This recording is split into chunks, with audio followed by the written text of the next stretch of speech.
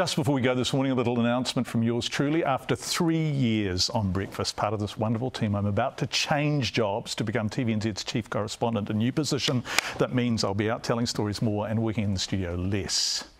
I've loved my time on Breakfast. Part of it has been because of these beautiful people the J May and the Indira and the Melissa and the Matty.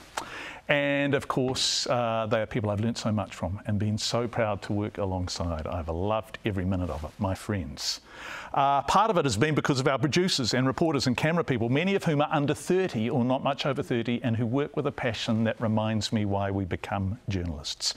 Part of it has been because of our studio crew and control room crew who make getting to work so very early way better than it would otherwise be. And part of it has been because of you. I hadn't realised what a family breakfast TV is, how you'd share your stories with us, how often we'd hear from you, how you'd tell us what you think about what we're doing, the good and the bad. How regularly many of you watch. It's a treat to have that kind of relationship with your viewers. A privilege, in fact. Thank you. Of course, we all know this team is wonderful, and we all know they'll be wonderful after I'm gone, and I'll be back, and I'll be doing work that I hope you'll watch across TVNZ, from specials to stories for Sunday and One News to digital work to live news coverage. This isn't my last morning. Uh, we're going to have a bit of a farewell on Friday. And I'm not leaving, I'm just moving next door. Breakfast rocks, and so do you, and you, and you. And that's all I wanted to say, really. Uh, see you tomorrow.